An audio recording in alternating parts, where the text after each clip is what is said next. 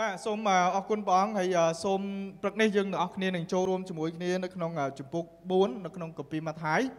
បើសិនជាបងប្អូនមានគម្ពីរសូមអត់បើកជាមួយខ្ញុំនៅក្នុងម៉ាថាយជំពូក4ហើយយើងនឹងសិក្សាពីខទី12ទៅដល់ខទី17ហ្នឹងហើយអញ្ចឹងសូមចូលជាមួយគ្នាខ្ញុំអានពីខទី12ទៅខទី17សូមបានផ្ទៀងជាមួយខ្ញុំណា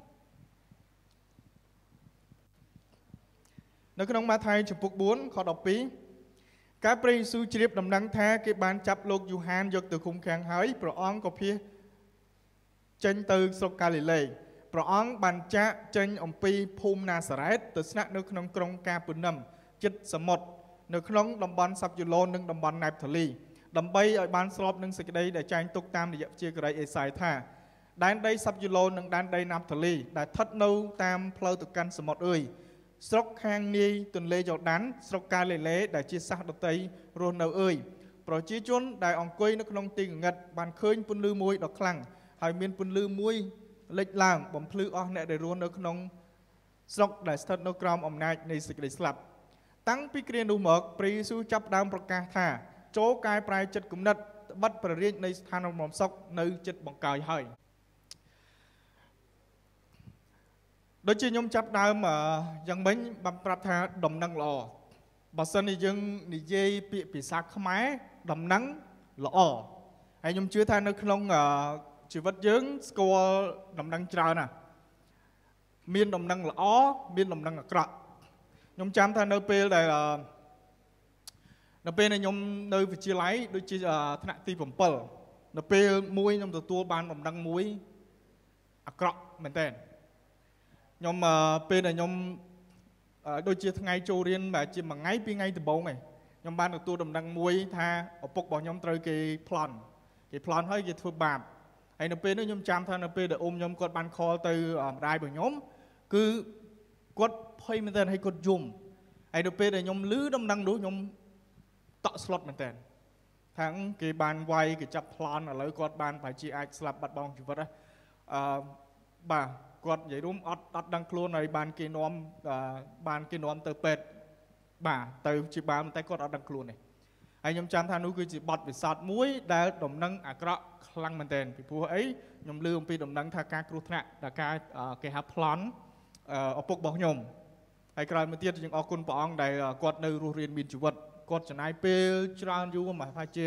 ខ្ទង់មួយឆ្នាំពីរឆ្នាំដើម្បីមមតែជំងឺគាត់បានជា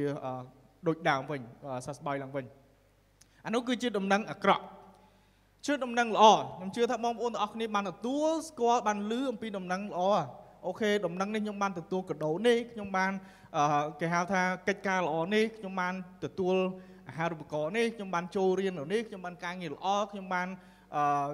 ជំងឺបានជាសះស្បើយឬក៏យើងឃើញដំណឹងល្អច្រើនមែនទេប៉ុន្តែនៅព្រឹកនេះខ្ញុំចង់ឲ្យយើងទាំងអស់គ្នាដាស់តឿនខ្ញុំជឿថាយើងស្គាល់ហើយដំណឹងល្អដែលពិសេសមួយទៀតដែលគិតថាល្អខ្លាំងមែនទេនោះ គឺដំណឹងល្អអំពីព្រះយេស៊ូវគ្រីស្ទពីព្រោះអីនៅក្នុងភាសាអង់គ្លេសយើងនិយាយថា good news ក្នុងភាសាខ្មែរដំណឹងល្អពិសេសមែនតើហើយយើងតែងតែពេលដែលយើងនិយាយថាប្រកាសអំពីព្រះយេស៊ូវគ្រីស្ទគឺយើងប្រកាសដំណឹងល្អហើយខ្ញុំជឿថាពេលដែលយើងឮដំណឹងល្អអីមួយយើងសប្បាយមែនតើយើងអត់ចង់ទុកទេប៉ុន្តែយើងចង់នាំការនោះទៅប្រាប់ការល្អទៅកាន់អ្នកដែលគាត់ត្រូវទទួលដំណឹងនោះហើយខ្ញុំជឿថា នៅយើងនៅក្នុងប្រទេសកម្ពុជាយើងនៅក្នុងទីក្រុងភ្នំពេញយើងយើងមានមនុស្សជាច្រើនដែលគេចង់ឮចង់ស្គាល់ពីដំណឹងល្អនោះនៅក្នុងនៅក្នុងជំពូក4នៅក្នុងជំពូក4នៃគម្ពីរម៉ាថាយយើងបានរៀនអំពីការពិសព្ទាមុនយើងរៀនអំពីតកតងជាមួយនឹងព្រះយេស៊ូវគ្រីស្ទត្រូវការត្រូវបានលបួងហើយនៅក្នុងដើមនៅក្នុងជំពូក3យើងបានរៀនអំពីគេហៅថា ទីបន្ទាល់ឬក៏ជីវិតរបស់លោកយូហានផងដែរនៅពេលក្នុងចន្លោះអំពីខទី11ទៅដល់ខទី12យើងឃើញមានព្រឹត្តិការណ៍ដកឃ្លាបាទបើសិនយើងគិតអំពីអឺពន្ធកិច្ចរបស់ព្រះយេស៊ូវគ្រីស្ទនៅក្នុងខទី12បានប្រាប់ថាកាលព្រះយេស៊ូវជ្រាបដំណឹងថាគេបានចាប់លោកយូហានយកទៅឃុំឃាំងហើយព្រះអង្គក៏ភៀសខ្លួនទៅស្រុកកាលីលេ ហើយជាច្រើនដងជាទូទៅយើងតែងតែនិយាយថាការដែលចំណុចចាប់ផ្ដើមនៃពន្ធកិច្ចរបស់ព្រះយេស៊ូវគ្រីស្ទដែលទ្រង់ចាប់ផ្ដើមពន្ធកិច្ចរបស់ព្រះអង្គយើងឃើញព្រះយេស៊ូវបានប្រសូតឡើងហើយព្រះអង្គបានរីកចម្រើនធំធាត់នៅក្នុងភូមិណាសារ៉េតហើយចាំហើយយើងក៏បានរត់គេចអំពីទីក្រុងបេតលហឹមមកភូមិបេតលហឹមមកទៅក្នុងរស់នៅក្នុងភូមិណាសារ៉េតបាទស្រុកកាលីគាត់បានធំធាត់រីកចម្រើនហើយប៉ុន្តែយើងអត់ដែលបានអានឬក៏គេឆៅជីវិតច្រើនពីព្រះយេស៊ូវគ្រីស្ទនោះទេនៅទីនោះ ព្រះអង្គបានរីកចម្រើនទំទាប់ប៉ុន្តែពន្ធកិច្ចរបស់ព្រះអង្គទ្រង់ចាប់ផ្ដើមនៅពេលដែលព្រះអង្គបានរីកចម្រើនធំពេញវ័យហើយយើងឃើញអំពីគេហៅថាឆ្នាំដែលរវល់ឆ្នាំដែលព្រះអង្គចាប់ដើមពន្ធកិច្ចរបស់ព្រះអង្គរយៈពេល3ឆ្នាំប្រហែលជាខ្ទង់3ឆ្នាំជាងចឹងទៅនៅពេលដែលព្រះអង្គចាប់ដើមពន្ធកិច្ចគេហៅថានោះគឺចំណុចចាប់ដើមនោះគឺជាការដែលការចាប់ខ្លួនរបស់លោកយូហានបាប់ទីសនៅក្នុងខទី12បានប្រាប់ថាព្រះយេស៊ូវគ្រីស្ទជ្រាបដំណឹងថាគេបានចាប់ខ្លួនលោកយូហាន យកទៅឃុំឃាំងហើយព្រះអង្គក៏ភៀសខ្លួនទៅស្រុកកាលីលេមុនពេលដែលគេចាប់ខ្លួនលោកលូហានយើងឃើញបើនៅក្នុងគម្ពីរយូហានចំពុក1ចំពុក2ចំពុក3បើសិនជាបងប្អូនទាំងអស់គ្នាអានយើងឃើញអំពីពន្ធកិច្ចខ្លះខ្លះដែលព្រះអង្គចាប់ដើមបាទព្រះអង្គធ្វើការមួយចំនួនរួចស្រេចទៅហើយប៉ុន្តែនៅក្នុងគម្ពីរម៉ាថាយនេះអត់បានលើកឡើងទេអញ្ចឹងព្រះអង្គបានចាំឯងព្រះអង្គបានខលគេហៅព្រះអង្គបានត្រាស់ហៅសាវករបស់ព្រះអង្គ យើងឃើញសាវកព្រះអង្គត្រាស់ហៅក៏បាត់ចាប់ដើមជឿលើព្រះយេស៊ូវគ្រីស្ទអូដឹងថាព្រះអង្គគឺជាព្រះសង្គ្រោះព្រះអង្គចាប់ដើមធ្វើការអស្ចារ្យនៅក្នុងពិធីមង្គលការនៅក្នុងភូមិកាណានព្រះអង្គបានចាប់ដើមទៅរើតុកនៅក្នុងព្រះវិហារបាទគេសារនៅក្នុងព្រះវិហារនោះមានការលក់របស់របរសម្ភារៈកន្លែងថ្វាយបង្គំមកព្រះប៉ុន្តែអ្នកជំនួញបានយកកន្លែងនោះគឺជាការកន្លែងលក់ដូរហើយព្រះអង្គទៅរើតុករបស់គេក្រោយមកទៀតឃើញព្រះអង្គបានជួបជាមួយនឹងលោកនីកូដេមដែលគាត់បាននិយាយជាមួយនឹងលោកនីកូដេមហើយ បើសិនជាបងប្អូនទាំងអស់គ្នាស្គាល់ទីតាំងភូមិសាស្ត្រព្រះអង្គបានចាប់ដើមធ្វើដំណើរពីស្រុកយូដាទៅកាន់ស្រុកកាលីលេឆ្លងកាត់ស្រុកសាមារីហើយព្រះអង្គជួបជាមួយនឹងស្ត្រីសាសសាមារីនៅក្នុងភូមិនៅក្នុងដងខ្ញុំបានមើលវីដេអូ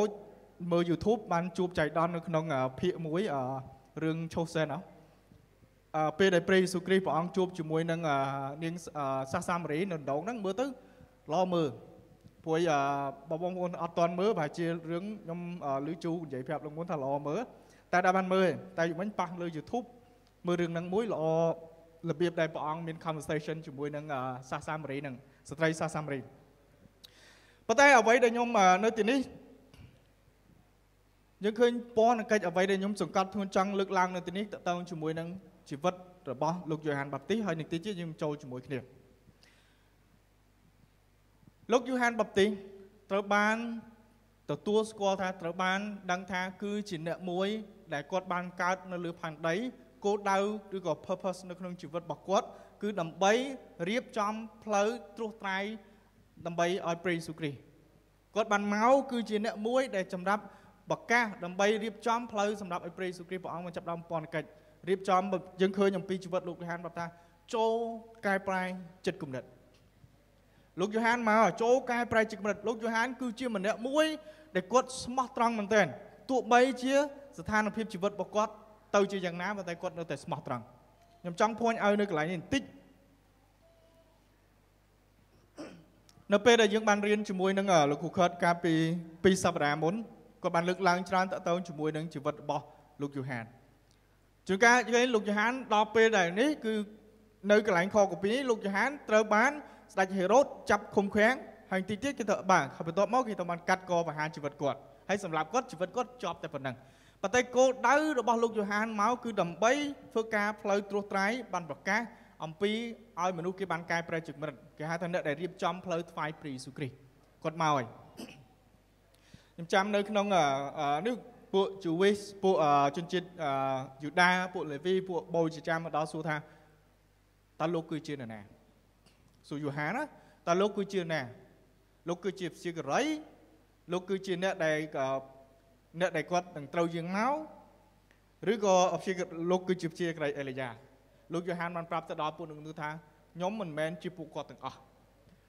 ខ្ញុំគឺជាសម្លេងរបស់បរោះម្នាក់នៅក្នុង wheelhouse ស្ថានដែលស្រែកថាចូលថ្វាយផ្លូវតម្រង់ផ្លូវថ្វាយព្រះយេស៊ូវគ្រីស្ទ លោកយូហានប្រាប់ថាខ្ញុំមិនមែនជាអេលីយ៉ាខ្ញុំមិនមែនជាជាករីខ្ញុំមិនមែនជាអ្នកដែលគេកំពុងតែរងចាំនេះទេប៉ុន្តែខ្ញុំគឺជាម្នាក់ដែលកំពុង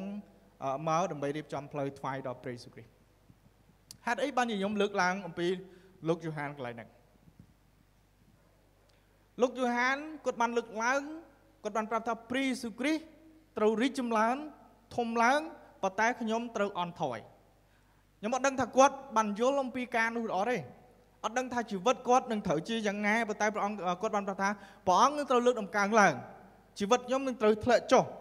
ប៉ុន្តែយើងក៏ចង់បញ្ចប់នៃជីវិតរបស់លោកយ៉ូហានគាត់ធ្លាក់ចុះធ្វើដល់ចំណុចសូន្យដោយសារស្ដេចហេរ៉ូតបានចាប់គាត់ហើយប្រហារជីវិតគាត់នៅក្នុងគុកបើសិនជាបងប្អូនចាំសាច់រឿងយូហានអឺត្រូវស្ដេចហេរ៉ូតគាត់បានចាប់ចាំសាច់រឿងពីព្រោះអីលោកយូហាន គឺជាម្នាក់ដែលគាត់ speak the truth ដែលគាត់បាននិយាយគេហៅសេចក្តីពិតទៅកាន់ស្ដេចហេរ៉ូតស្ដេចហេរ៉ូតគាត់បានយកនាងហេរ៉ូឌីសជាប្រពន្ធរបស់ហ្វេលីបដែលជាប្អូនប្រុសរបស់គាត់ទៅធ្វើជាភរិយាលោកយូហាន គឺជាម្នាក់ដែលគាត់និយាយបានប្រកាសទៅដល់បណ្ដាជនឲ្យបណ្ដាជនបានប្រាប់ថាចូលកែប្រែចិត្តគំនិតហើយគាត់បានប្រកាសអំពីសេចក្តីពិតទៅកាន់មនុស្សទាំងអស់គាត់ប្រកាសទៅដល់បណ្ដាជនគាត់ធ្វើពិធីជាមួយទឹកឲ្យបណ្ដាជនគាត់បានប្រាប់ឲ្យពួកគាត់បានកែប្រែចិត្តគំនិត មនុស្សធម្មតាហើយក៏គាត់ប្រកាសដំណឹងល្អនោះប្រាប់ទៅដល់ក្នុងឋានៈជាស្ដេចផងដែរគាត់បានប្រាប់ស្ដេចហេរ៉ូថាព្រះអង្គហើយព្រះអង្គគ្មានសិទ្ធិក្នុងការយកព្រះមហេសីរបស់ព្រះអង្គប្អូនរបស់ព្រះអង្គអនុជរបស់ព្រះអង្គធ្វើជាភរិយារបស់ព្រះអង្គឡើយប៉ុន្តែនាងហេរ៉ូឌីសដែលជាប្រពន្ធរបស់ភីលីបដែលជាប្អូនស្ដេចហេរ៉ូតបានចូលបាទគាត់ទៅរួមរស់ជាមួយនឹងស្ដេចហេរ៉ូតចាំបងប្អូនអាចអានសាច់រឿងមកហ្នឹងឃើញចុងក្រោយស្ដេចហេរ៉ូតបាន នាងហេរ៉ូឌីសគាត់ខឹងមែនទែនហើយស្ដេចហេរ៉ូតបានសន្យាបាទបើសិនបងប្អូនអានសាច់រឿងទៅមួយការរួមការអីរបស់កូនរបស់នាងហេរ៉ូឌីសហ្នឹងចុងក្រោយស្ដេចហេរ៉ូតបានសន្យាថាខ្ញុំនឹងចាប់យូហានចុងក្រោយយូហានត្រូវបានស្ដេចហេរ៉ូតចាប់ចូលក្នុងគុកហើយគាត់បានត្រូវគេកាត់កបហាជីវិតហើយគាត់បានស្លាប់ជីវិតគាត់ទៅប៉ុណ្្នឹងហើយគាត់រស់នៅគាត់មកដើម្បីរៀបចំត្រូវថ្វាយខ្លួនដល់ព្រះយេស៊ូវគ្រីស្ទលោកយូហានគាត់និយាយសេចក្តីពិត លោកយូហានបានប្រាប់ថាព្រះយេស៊ូវគ្រីស្ទនឹងត្រូវរីកចម្រើនធំធាត់ឡើងប៉ុន្តែខ្ញុំត្រូវថយចុះលោកយូហានប្រាប់ទៅដល់បណ្ដាជនមនុស្សធម្មតាហើយលោកយូហានក៏ហ៊ានប្រកាសនោះទៅដល់ស្ដេចផងដែរគាត់បាននិយាយអំពីសេចក្តីពិតដែលទោះបីជាការនិយាយនោះវាមិនមែនធ្វើឲ្យគេសប្បាយឬក៏ការនិយាយនោះធ្វើឲ្យគាត់មានភាពឈឺចាប់ទទួលរងគ្រោះថ្នាក់យ៉ាងណាក៏ដោយប៉ុន្តែលោកយូហានគាត់ជាម្នាក់ ដែលស្មោះត្រង់និយាយអំពីសេចក្តីពិតនិយាយអំពីព្រះបន្ទូលរបស់ព្រះអង្គទៅកាន់បាតាជនអស់អត់រឹមមុខទេបងប្អូនហើយបើសិនជាយើងទាំងអស់គ្នាចង់រស់នៅក្នុងសេចក្តីមួយដែលគោរពកោតខ្លាចព្រះជាម្ចាស់ប្រតិបត្តិតាមព្រះអង្គព្រះយេស៊ូវព្រះអង្គបានប្រាប់ដល់យើងថាយើងនឹងមានគេបៀតបៀនយើងនឹងមានគ្រោះថ្នាក់យើងនឹងមានគេហៅថាអត់សុខស្រួលទេវាថាអស់អ្នកដែលរស់នៅដែលចង់គោរពប្រតិបត្តិព្រះជាម្ចាស់ក្នុងព្រះយេស៊ូវគ្រីស្ទមុខជាត្រូវគេបៀតបៀន ដូច្នោះឯងលោកយូហានបានជ្រើសរើសការទាំងនេះហើយចុងក្រោយជីវិតរបស់គាត់បានត្រូវគេកាត់ទោសបង្ហាជីវិតហើយគាត់បានស្លាប់ចប់នៅក្នុងជីវិតរបស់គាត់ប៉ុន្តែអ្វីដែលយើងអាចរៀនបានគឺគាត់អត់ខ្វល់អំពីការទៅនោះប៉ុន្តែគាត់បានប្រាប់គេអំពីព្រះយេស៊ូវគ្រីស្ទបងប្អូនអីនៅកន្លែងនេះខ្ញុំចង់ឲ្យខ្ញុំចង់គាត់លើកអំពីជីវិតរបស់លោកយូហានភ្ជាប់ជាមួយនឹងខកពីបន្ទាប់ទៀត នៅក្នុងខ3បានប្រាប់ថាព្រះអង្គបានចាក់ចេញពីភូមិណាសារ៉េតទៅស្នាក់នៅទីក្រុងកាពឺនឹមចិត្តសមុទ្រនៅក្នុងតំបន់សាប់យូឡូននិងតំបន់ណាថាលីដើម្បីឲ្យបានស្របតាមសេចក្តីដែលចែងទុកតាមយៈជាក្តីអេសាយលោកយូហានគឺជាម្នាក់ដែលគាត់រស់នៅបានមកក្នុងគោលដៅទី1គឺដើម្បីត្រួសត្រាយផ្លូវថ្វាយព្រះយេស៊ូវគ្រីស្ទព្រះអង្គគាត់បានមកប្រកាសឲ្យមនុស្សគេបានកែប្រែចិត្តគំនិតហើយយើងបើសិនជាបងប្អូនទាំងអស់គ្នាស្គាល់ស្អីរឿងយូហានគឺជាបងប្អូនជីដូនមួយរបស់ព្រះយេស៊ូវគ្រីស្ទ គាត់គឺជាកូនរបស់អេលីសាបេតប៉ុន្តែគាត់មកក្នុងគោលដៅមួយគឺជាអ្នករៀបចំត្រួសត្រាយបានផ្ដល់សក្ខីភាពអំពីព្រះយេស៊ូវគ្រីស្ទប្រាប់ឲ្យគេថាបងប្អូនអើយខ្ញុំល្បីល្បាញប៉ុន្តែអ្នកដែលគាត់មកក្រោយខ្ញុំនឹងបានធំហើយមានភាពល្បីល្បាញមានអំណាចខ្លាំងជាងខ្ញុំទៀតខ្ញុំអត់ស័កសមនឹងស្រ័យសំបីតែខ្សែស្បែកជើងរបស់គាត់គាត់បានប្រកាសឲ្យគាត់លើកដំកើងព្រះយេស៊ូវគ្រីស្ទនៅទីនេះព្រះអង្គបានចាប់ដើមពន្ធកិច្ចរបស់ព្រះអង្គ នៅពេលបើយើងមើលអំពីនៅពេលដែលគេបានចាប់ព្រះយេស៊ូវចាប់លោកយូហាននៅក្នុងខទី13ព្រះអង្គបានចាក់ចែងពីភូមិណាសារ៉េតទៅក្នុងស្រុកកាពឺនឹមយូហាននិយាយអត់ខ្លាចចិត្តនៅទៅគាត់និយាយសេចក្តីពិតគាត់និយាយអំពីដំណឹងល្អគាត់និយាយអំពីឲ្យមនុស្សគេបានកែប្រែចិត្តដូចគ្នាជាមួយនឹងព្រះយេស៊ូវគ្រីស្ទដែរព្រះអង្គរីចម្រើនព្រះអង្គទុំធាត់ព្រះអង្គបានថាដល់ពេលវេលាដែលព្រះអង្គចាប់ដើមពន្ធកិច្ចរបស់ព្រះអង្គហើយនៅទីនេះព្រះអង្គបានចាក់ចែងពីភូមិណាសារ៉េតទៅក្នុង ស្នាក់នៅក្នុងស្រុកកាពឺនឹមបើសិននេះបងប្អូនស្គាល់កន្លែងឈ្មោះកាពឺនឹមប្រហែលជាអាននៅក្នុងពិសេសនៅក្នុងគម្ពីរសម្ព័ន្ធមេត្រីថ្មីឬកាពឺនឹមរហូតបាទមានអ្នកដែលបម្រើព្រះអង្គសិស្សរបស់សាវករបស់ព្រះអង្គគាត់ដួលនៅក្នុងទីនោះអឺដែលគាត់បានជាភូមិស្រុករបស់គាត់ដែរព្រះយេស៊ូវគ្រីស្ទព្រះអង្គធំធាត់នៅក្នុងភូមិណាសារ៉េតគាត់បានធ្វើដំណើរពីចាក់ចេញពីស្រុកណាសារ៉េតពីព្រោះអីពេលដែលព្រះអង្គប្រាប់គេព្រះអង្គនិយាយទៅដល់គេអំពីការកែប្រែចំណុចផ្សេងគេខឹងមួយព្រះអង្គ ហើយនៅក្នុងសាច់រឿងមួយมันប្រាប់ថាគេប្រុងចាប់ព្រះអង្គទម្លាក់រុញច្រានទម្លាក់ពីភូមិនិងពពោភូមិហើយមានភ្នំអញ្ចឹងទម្លាក់រុញព្រះអង្គទម្លាក់ចោលបន្ទាប់មកព្រះអង្គដោយសារគេត្រូវបដិសេធនៅក្នុងភូមិណាសារ៉ាតហ្នឹងក៏ព្រះអង្គធ្វើដំណើរទៅភៀកខាងជើងនៅក្នុងទៅដល់ស្រុកកាពនឹមភូមិកាពនឹមពេលដែលព្រះអង្គព្រះអង្គបានចាប់ដើមយាងទៅហើយកាពនឹមคล้ายជាតំបន់មួយដែលព្រះអង្គប្រើគេហៅថាដើម្បីចេញទៅប្រកាសដើរប្រាប់អង្គគេអំពីដំណឹងល្អនៃព្រះយេស៊ូវគ្រីស្ទ នៅក្នុងខទី16បងប្អូនអីប្រជាជនដែលអង្គុយនៅក្នុងទីងងឹតបានឃើញពន្លឺមួយខ្លាំងហើយមានពន្លឺមួយលេចចេញបំភ្លឺពួករស់នៅក្នុងស្រុកដែលស្ថិតនៅក្រោមអំណាចនៃសេចក្តីស្លាប់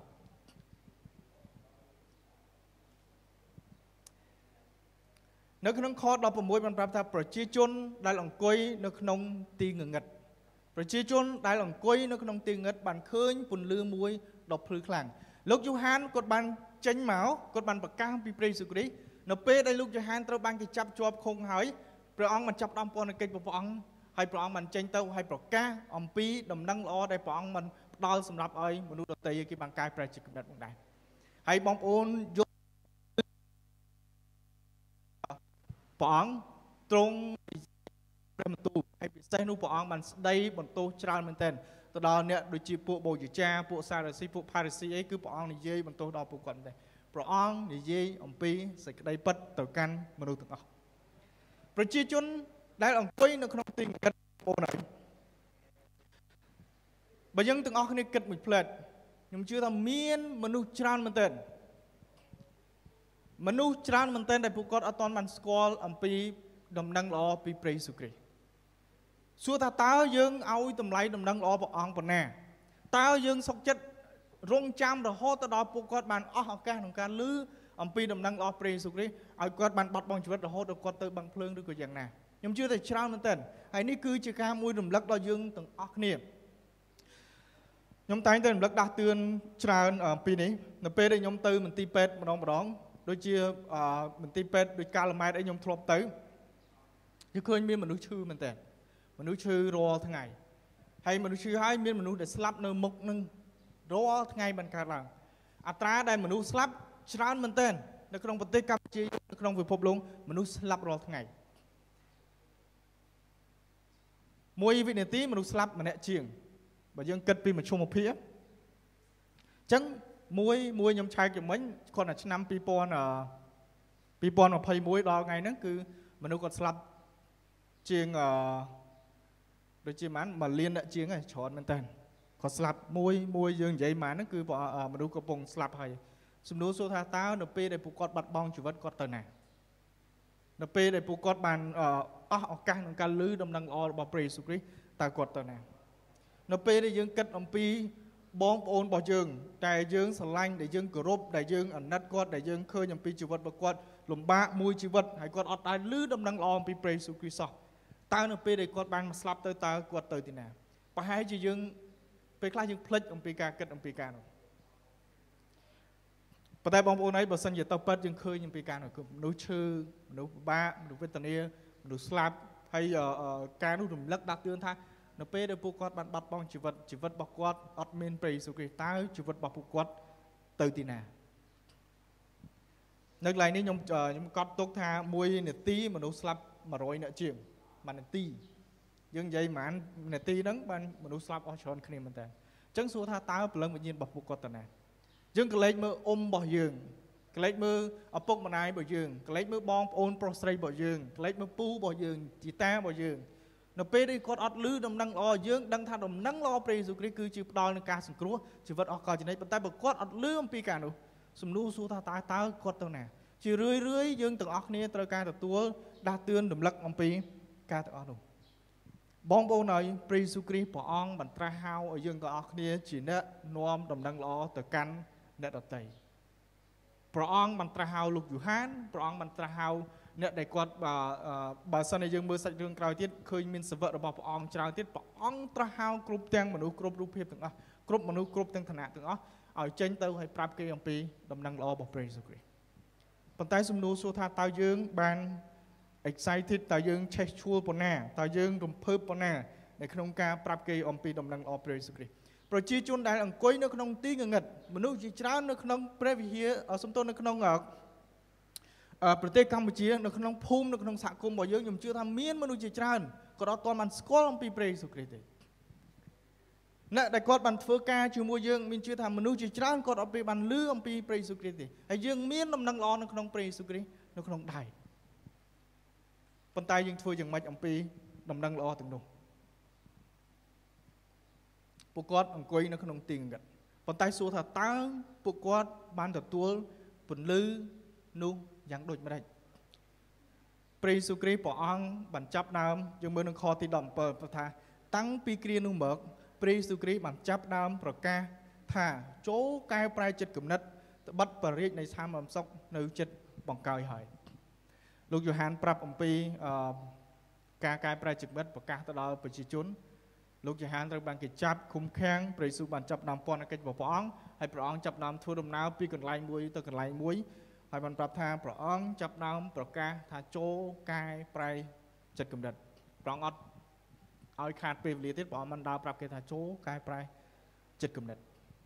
ពួកគាត់មានមនុស្សជាច្រើនដែលកំពុងតែអង្គុយនៅក្នុងទីងងឹត បងប្អូនទាំងអស់គ្នាឆែកមើលបើខ្ញុំគិតមើលអំពីគ្រួសាររបស់ខ្ញុំច្រើនមែនតើកំពុងតែពួកគាត់អត់បានលឺ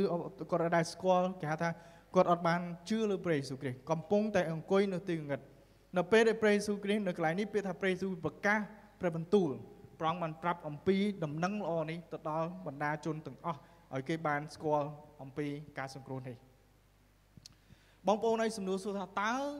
យើងចែកចាយយ៉ាងម៉េច តើយើងជាគ្រាន់តែជាអ្នកមួយគ្រីស្ទបរិស័ទធម្មតាតើយើងអង្គុយនៅធម្មតាដើរជាមួយព្រះអង្គគឺយ៉ាងម៉េចនៅពេលដែលយើងបានចាប់ខាងខ្លាយទៅជាគ្រីស្ទបរិស័ទបងប្អូនអីយើងរៀនរីចម្រើនដើរជាមួយនឹងព្រះអង្គក្នុងពេលជាមួយនៅក្នុងដែរព្រះជាម្ចាស់ព្រះអង្គបានត្រាស់ហៅយើងម្នាក់ម្នាក់ឲ្យចេញទៅឲ្យប្រកាសអំពីដំណឹងល្អពីព្រះយេស៊ូវគ្រីស្ទសំណួរសួរថាតើពេលចុងក្រោយបំផុតដែលយើងទាំងអស់គ្នាបានប្រកាសអំពីដំណឹងល្អនេះនៅពេលណាតើយើងបាន ចែកចាយជាមួយអ៊ំមួយមីងមួយពូមួយមិត្តភ័ក្តិជាមួយនឹងគ្រួសារជាមួយនឹងអ្នកកន្លែងធ្វើការរបស់យើង អំពីព្រះយេស៊ូវគ្រីស្ទតែអត់បងប្អូនឯងខ្ញុំចង់បបួលយើងទាំងអស់គ្នានៅជំនុំឲ្យបងប្អូនច្រើននៅទីនេះគាត់បាននៅតែបន្តប្រកាសអំពីព្រះបន្ទូលរបស់ព្រះអង្គអរគុណមែនទែនគាត់ប្រកាសដល់កុមារគាត់ប្រកាសដល់យុវជនគាត់ប្រកាសដល់មិត្តភ័ក្តិគាត់ប្រកាសដល់ទៅដល់អឺ បងប្អូនចាស់ចាស់ផងដែរអំពីដំណឹងល្អអំពីព្រះយេស៊ូវគ្រីស្ទសូមឲ្យយើងប្រកាសដោយភាពជឿជាក់ដោយអំណាចដែលមកអំពីព្រះអង្គដែលយើងជឿថានេះគឺជាដំណឹងល្អនេះគឺជាអ្វីដែលពិសេសពីព្រោះបើសិនជាយើងគិតអំពីដំណឹងល្អដំណឹងដែលពិសេសដំណឹងដែលល្អមែនតើបានយើងប្រកាសអូព្រះយេស៊ូវគ្រីស្ទព្រះអង្គស្រឡាញ់អ្នកទាំងអស់គ្នាប៉ុន្តែសូមឲ្យយើងបានជឿជាក់ថាព្រះអង្គពិតជាស្រឡាញ់ព្រះអង្គពិតជាយាងមកឲ្យសង្គ្រោះផ្ដល់ការសង្គ្រោះទៅដល់មនុស្សគ្រប់គ្នាផងដែរ សូមឲ្យយើងបានប្រកាសអំពីដំណឹងល្អនោះទៅកាន់អ្នកដទៃផងដែរព្រះយេស៊ូវគ្រីស្ទបានប្រកាសដំណឹងល្អទៅកាន់អ្នកដទៃហើយយើងឃើញទីទៀតព្រះអង្គបានត្រាស់ហៅសាវកដែលគាត់ជាមនុស្សធម្មតាចេញទៅឲ្យប្រកាសដំណឹងល្អទៅកាន់អ្នកដែលនៅស្រុកភូមិរបស់គាត់ផងដែរបងប្អូនអីសំណួរនៅព្រឹកនេះសួរថាតើ យើងបានរស់នៅក្នុងជីវិតមួយដែលប្រកាសដំណឹងល្អពីព្រះយេស៊ូវគ្រីស្ទអត់ប្រហែលជាយើងនិយាយថាលោកគ្រូអីបងអីខ្ញុំអត់មានគេហៅថាចំណេះដឹងច្រើនក្នុងការដែលនិយាយបញ្ចុះបញ្ចូលឬក៏ប្រាប់តគេអំពីព្រះយេស៊ូវគ្រីស្ទអត់ចាំបាច់ទេអ្វីដែលយើងគាត់នៅនេះយើងដឹងថាដំណឹងល្អនោះពិសេសមែនទែនហើយយើងដំណំដំណឹងល្អនេះទៅកាន់អ្នកដែលនៅជុំវិញយើងប្រាប់គាត់លើកទឹកចិត្តគាត់អំពីសេចក្តីសង្គ្រោះដែលព្រះមានសម្រាប់ព្រះអង្គបានសង្គ្រោះយើង ហើយព្រះអង្គចង់សង្គ្រោះបងប្អូនដែលនៅជុំវិញខ្លួនយើងផងដែរបងប្អូននេះមានពេលខ្លះបងប្អូនខ្លះដែលគាត់ធ្លាប់ឮអំពីព្រះយេស៊ូវគ្រីស្ទច្រើនជួនកាលគាត់រីកចម្រើនធំធាត់នៅក្នុងក្រុមគ្រួសាររបស់គ្រីស្ទបរិស័ទជួនកាលគាត់រីកចម្រើនធំធាត់នៅក្នុងសហគមន៍មួយដែលឮអំពីព្រះយេស៊ូវរហូតប៉ុន្តែមើលឆែកមើលជីវិតគាត់គាត់អត់បានអឺសួរខ្លួនឯងថាខ្ញុំជាគ្រីស្ទបរិស័ទខ្ញុំជាគ្រីស្ទបរិស័ទប៉ុន្តែសំណួរសួរថាតើតើ គាត់មានតែយើងមានទំនាក់ទំនងជាមួយនឹងព្រះយេស៊ូវគ្រីស្ទដោយពិតប្រាកដនៅក្នុងជីវិតយើងអត់ជាងការបងប្អូនឯងមានបងប្អូនខ្លះដែលគាត់ស្គាល់អំពីរបៀបរស់នៅដែលជាគ្រីស្ទបរិស័ទប៉ុន្តែសួរថាតើគាត់ពិតជាមានទំនាក់ទំនងជាមួយនឹងព្រះយេស៊ូវគ្រីស្ទមែនដែរឬក៏អត់ បើអត់បងប្អូនឯងខ្ញុំឆែកមើលអំពីការនោះប៉ុន្តែបងប្អូនឯងបើសិនជាយើងមានយើងបានដើរជាមួយស្គាល់ព្រះយេស៊ូវគ្រីស្ទសូមឲ្យកុំឲ្យយើងទុកអំពីដំណឹងល្អនេះសូមឲ្យយើងបាននាំដំណឹងល្អនោះទៅកាន់អ្នកដែលនៅជុំវិញខ្លួននេះប៉ុន្តែសួរថាតើពេលយើងប្រាប់គេអំពីព្រះយេស៊ូវគ្រីស្ទគេសប្បាយចិត្តអត់ពេលខ្លះគេទទួលពេលខ្លះគេអត់ទទួលលោកយូហានប្រាប់គេទៅដល់លោកស្ដេចហេរ៉ូតស្ដេចហេរ៉ូតមិនត្រឹមតែគ្រាន់តែអត់ទទួលទេ មិនត្រឹមតែគាត់កែប្រែចិត្តគំនិតទេប៉ុន្តែគាត់ចាប់លោកយូហានដាក់គុកហើយសម្លាប់លោកយូហានទៀតអានោះគឺគេហៅថា cost នៅក្នុងការដែលយើងបានផ្សាយដំណឹងល្អទៅកាន់ព្រះយេស៊ូវគ្រីស្ទប៉ុន្តែព្រះយេស៊ូវគ្រីស្ទសវិតរបស់ព្រះអង្គគាត់បានចេញទៅនាំដំណឹងល្អអំពីព្រះយេស៊ូវគ្រីស្ទប្រាប់ប្រកាសមនុស្សជាច្រើនគេបានកែប្រែចិត្តគំនិតហើយគេបានចូលរួមគេបានមានក្រុមជំនុំគេបានរួបរวมថ្វាយបង្គំគ្នារីកចម្រើននៅក្នុងជីវិតក្នុងការដើរជាមួយនឹងព្រះអង្គអានោះផលដែលកើតចេញអំពីការប្រកាសដំណឹងល្អអំពីព្រះយេស៊ូវគ្រីស្ទ សំណួរសួរថាតើយើងក្លាហានគ្រប់គ្រាន់ដើម្បីឲ្យយើងប្រកាសដំណឹងល្អព្រះយេស៊ូវគ្រីស្ទទៅកាន់អ្នកដែលនៅជុំវិញយើងបានអត់មនុស្សធម្មតាឬក៏អ្នកដែលគាត់មានឋានៈធំធាត់ធំធំតែយើងហ៊ានក្នុងការដែលប្រាប់គាត់ពីព្រះយេស៊ូវគ្រីស្ទសំណួរមួយទៀតសួរថាតើយើងស្រឡាញ់ពួកគាត់គ្រប់គ្រាន់ដែលយើងសុកចិត្តដាច់ចិត្តប្រាប់គាត់អំពីព្រះយេស៊ូវគ្រីស្ទទោះបីជាគាត់អត់សប្បាយចិត្តអំពីការនោះគ្រាន់ តែយើងហ៊ានប្រាប់គាត់អត់ឬក៏យើងខ្លាចចិត្តគាត់ឬខ្លាចគាត់ខឹងឬក៏យ៉ាងម៉េចបងប្អូនហើយបើសិនជាយើងស្រឡាញ់គាត់យើងពិតជាគេហៅថាស្រឡាញ់គាត់ខ្លាំងតែយើងអត់ចង់ឃើញជីវិតរបស់គាត់បានបាត់បង់ហើយនៅក្នុងអឺដាច់ចេញពីព្រះជាម្ចាស់រហូតអស់កលចំណិតនោះឡើយប៉ុន្តែយើងចង់ឲ្យជីវិតគាត់បានជួបជាមួយនឹងព្រះអង្គបានមានទទួលការសង្គ្រោះមកអំពីទ្រង់ផងដែរ ចឹងបងប្អូនហើយសួរខ្លួនឯងខ្ញុំចង់បបួលបងប្អូនទាំងអស់គ្នានៅថ្ងៃនេះនៅក្នុងអាទិត្យបន្ទាប់សូមឲ្យយើងទាំងអស់គ្នាមិនគិតឲ្យអធិដ្ឋានអត់ចាំបាច់យើងទៅបង្កើតដល់ប្រកាសនេះជាសាធារណៈឲ្យគេបានស្គាល់ព្រះយេស៊ូវគ្រីស្ទបងប្អូនហើយគិតមើលអំពីមិត្តភក្តិរបស់យើងតើតើគាត់ស្គាល់ព្រះយេស៊ូវគ្រីស្ទនៅគិតមើលអំពីអ៊ំមីងពូសាច់ញាតិរបស់យើងតើគាត់បានលឺអំពីព្រះយេស៊ូវគ្រីស្ទនៅគិតមើលបងប្អូនដែលនៅជុំវិញយើងដែលយើងឃើញគាត់ តើគាត់បានស្គាល់ពីព្រះយេស៊ូវគ្រីស្ទនៅសូមឲ្យយើងអធិដ្ឋានសម្រាប់ពួកគាត់ហើយយើងមានពេលហើយយើងអាចលើកទឹកចិត្តគាត់ក៏ដូចជាផ្សាយនឹងល្អទៅកាន់ពួកគាត់ផងដែរដែលយើងអាងយើងអធិដ្ឋានយើងពឹងអាងទៅលើអំណាចបច្ចេស្តារបស់ព្រះជាម្ចាស់ដែលព្រះអង្គធ្វើការនោះនៅក្នុងជីវិតរបស់ពួកគាត់និយាយចាំថាការដែលមនុស្សម្នាក់គាត់បានជឿលើព្រះមិនមែនដោយសារភាពបញ្ចុះបញ្ចូលរបស់យើងទាំងអស់គ្នានោះឡើយគឺព្រះអង្គបានធ្វើការនៅក្នុងជីវិតនៅក្នុងដួងចិត្តរបស់ពួកគាត់ទាំងអស់គ្នា អ្វីដែលយើងទាំងអស់គ្នាត្រូវធ្វើគឺយើងទាំងអស់គ្នានាំដំណឹងល្អនោះទៅកាន់អ្នកដែលនៅជុំវិញយើងប្រាប់ពួកគាត់និយាយលើកទឹកចិត្តពួកគាត់ចំណាយពេលពួកគាត់បង្ហាញគាត់អំពីសេចក្តីស្រឡាញ់អញ្ចឹងបងប្អូនហើយយើងអត់ចាំបាច់តតែយើងធ្វើការនោះធំដុំប៉ុន្តែបងប្អូនហើយសូមឲ្យយើងគិតថាដំណឹងល្អពីព្រះយេស៊ូវគ្រីស្ទប្រាប់ពួកគាត់ថាព្រះអង្គស្រឡាញ់ហើយលើកទឹកចិត្តគាត់បញ្យល់ប្រាប់គាត់អំពីការនោះផងដែរហើយខ្ញុំជឿថាមនុស្សគាត់នឹងឃើញហើយយើងអធិដ្ឋានសម្រាប់ពួកគាត់ ហើយសង្ឃឹមថាព្រះអង្គបានធ្វើការនៅក្នុងជីវិតពួកគាត់ដំណឹងល្អអំពីព្រះយេស៊ូវគ្រីស្ទព្រះយេស៊ូវគ្រីស្ទបានចេញទៅហើយប្រកាសគេឲ្យកែប្រែចិត្តគំនិតសូមឲ្យយើងទាំងអស់គ្នាទាំងទាំងគ្រូកងវិលទាំងអ្នកដឹកនាំទាំងប្អូនទូចទូចទាំងអ្នកបម្រើនៅក្នុងក្រុមជំនុំទាំងអស់នៅក្នុងក្រុមជំនុំយើងទាំងអស់គ្នាសូមឲ្យយើងបានចេញទៅហើយមិនប្រាប់គេអំពីព្រះយេស៊ូវគ្រីស្ទអានោះគឺជាអ្វីដែលព្រះជាម្ចាស់ព្រះអង្គបានត្រាស់ហៅដល់យើងទាំងអស់គ្នាហើយសូមបានជឿជាក់ថានោះគឺជាសេចក្តីពិត ហើយនោះគឺជាព្រះបន្ទូលរបស់ព្រះអង្គហើយនោះគឺជាសេចក្តីដែលព្រះអង្គបានផ្ដល់គេហៅថាដល់ការសង្គ្រោះទៅដល់ពួកគាត់នៅក្នុងយូហានចំពុក8ខ32ប្រាប់ថាអ្នករាល់គ្នានឹងស្គាល់សេចក្តីពិតហើយសេចក្តីពិតនឹងរំដោះអ្នករាល់គ្នាឲ្យមានសេរីភាពអ្វីដែលយើងធ្វើគឺនាំដំណឹងល្អនាំព្រះបន្ទូលរបស់ព្រះអង្គទៅកាន់អ្នកដែលនៅជុំវិញខ្លួនយើងពីព្រោះមានមនុស្សជាច្រើនគាត់កំពុងតែអង្គុយស្ថិតនៅក្នុងទីងងឹតប៉ុន្តែយើងគាត់បានទទួលពលឺយ៉ាងម៉េចគឺតាមជារបស់យើងទាំងអស់គ្នា ហើយជាអំណរជាកិត្តិយសដែលព្រះអង្គជាព្រះប្រើយើងជាដៃជាជើងដើម្បីយើងទាំងអស់គ្នាបាននាំកម្លាំងល្អទៅកាន់អ្នកដែលនៅជុំវិញខ្លួនយើងសូមបានអធិដ្ឋានជាមួយខ្ញុំប៉ុន្តែខ្ញុំចង់ឲ្យរំលឹកសូមឲ្យយើងបានគិតអធិដ្ឋានសម្រាប់បងប្អូនដែលនៅជុំវិញយើងអធិដ្ឋានសម្រាប់អ្នកដែលយើងស្គាល់អធិដ្ឋានសម្រាប់និយាយរួមអ្នកដែលគាត់អត់បានស្គាល់ព្រះអង្គសូមអធិដ្ឋានសម្រាប់ពួកគាត់ឲ្យលើកទឹកចិត្តផ្សាយនឹងល្អ អាចចំណាយពេលវេលាញ៉ាំអីជាមួយគាត់ចំណាយពេលជាមួយគាត់ហើយយើងផ្សាយនឹងល្អទៅកាន់គាត់ហើយខ្ញុំជឿថាព្រះជំច័ន្ទធ្វើការតាមតាមរយៈការទាំងនោះផងដែរ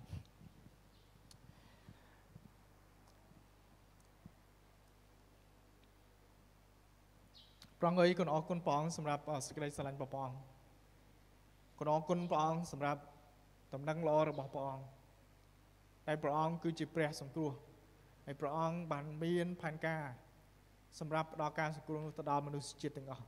ព្រះអង្គបានយាងមកហើយព្រះអង្គសគត់លើជាឆ្កាងព្រះអង្គបានរស់ឡើងវិញគឺដើម្បីឲ្យកូនទាំងអស់គ្នាបានទទួលនៅការសង្គ្រោះទទួលបាននៅជីវិតអស់កលជាមួយនឹងទ្រង់ហើយនោះគឺជាដំណឹងល្អដែលមនុស្សជាច្រើនកំពុងតែអត់យល់មនុស្សជាច្រើនកំពុងតែបដិសេធមនុស្សជាច្រើនកំពុងតែស្ថិតនៅក្នុងសេចក្តីងឹតដែលពួកគាត់អត់បានស្គាល់ប្រងអើយគុណចង់ខ្លាយទៅជាម្នាក់ដែលនាំដំណឹងល្អនោះទៅកាន់ពួកគាត់គុណចង់ខ្លាយទៅជាម្នាក់ដែលព្រះអង្គបានប្រើដើម្បីបំផ្លាស់បំប្រែជីវិតរបស់ ពួកគាត់ទាំងអស់គ្នាឲ្យគាត់បានស្គាល់អំពីព្រះអង្គដែរសូមឲ្យកូនទាំងអស់គ្នាបានបើកដួងចិត្តឲ្យឲ្យព្រះអង្គជាព្រះបានធ្វើការហើយឲ្យកូនបានហ៊ានបើកមាត់ឲ្យកូនបានហ៊ានប្រាប់គេអំពីព្រះយេស៊ូវគ្រីស្ទទោះបីជាការនោះស្ដាប់ទៅមិនពីរោះទោះបីការនោះស្ដាប់ទៅមិនពេញចិត្តពីត្រចៀករបស់អ្នកដែលគាត់ឮប៉ុន្តែសូមឲ្យកូនបាននៅតែបន្តហ៊ានប្រាប់ពួកគេអំពីដំណឹងល្អនោះផងដែរ លោកយូហានក៏បានស្មោះត្រង់ជាមួយនឹងទ្រង់គាត់បានប្រកាសទៅដល់មនុស្សធម្មតាហើយគាត់បានប្រកាសទៅដល់ស្ដេចតែគាត់ចុងក្រោយទទួលបាននៅការកាត់ទោសហើយជីវិតអំពីការនោះផងដែរប្រងអើយសូមឲ្យកូនបានស្មោះត្រង់ដូចនេះដែរព្រះយេស៊ូវគ្រីស្ទទ្រង់បានចាប់ដើមពន្ធកិច្ចប្រព័ន្ធគាត់បានចេញទៅឲ្យប្រកាសអំពីដំណឹងល្អនោះឲ្យមនុស្សគេបានកែប្រែជាគំនិតហើយព្រះអង្គអត់ខ្វល់អំពីការដែលមនុស្សគិតយ៉ាងម៉េចហើយព្រះអង្គនៅតែធ្វើចុងក្រោយព្រះអង្គក៏ត្រូវគេបានឆ្កាង ហើយសគត់នៅលើឆ្កាងផងដែរប្រងអីសូមឲ្យកូនទាំងអស់គ្នាដែលនៅទីនេះជាម្នាក់ដែលនាំពន្លឺមួយសម្រាប់ទៅដល់បងប្អូនដែលកំពុងតែអង្គុយនៅក្នុងភាពងងឹតសូមឲ្យកូនទាំងអស់គ្នាបានអនុញ្ញាតឲ្យជីវិតកូនអនុញ្ញាតឲ្យព្រះអង្គបានធ្វើការនៅក្នុងជីវិតកូនហើយសូមព្រះអង្គជាព្រះបានប្រើកូនហើយកំសាន្តចិត្តកូនដឹកនាំដាស់តឿនកូនទាំងអស់គ្នាហើយកូនបានធ្វើការទាំងនោះដោយភាពស្មោះត្រង់ដែរគុណអរគុណព្រះអង្គហើយគុណថ្វាយព្រះបន្ទូលព្រះអង្គព្រឹកនេះក្នុងនាមព្រះយេស៊ូវគ្រីស្ទ អេមែន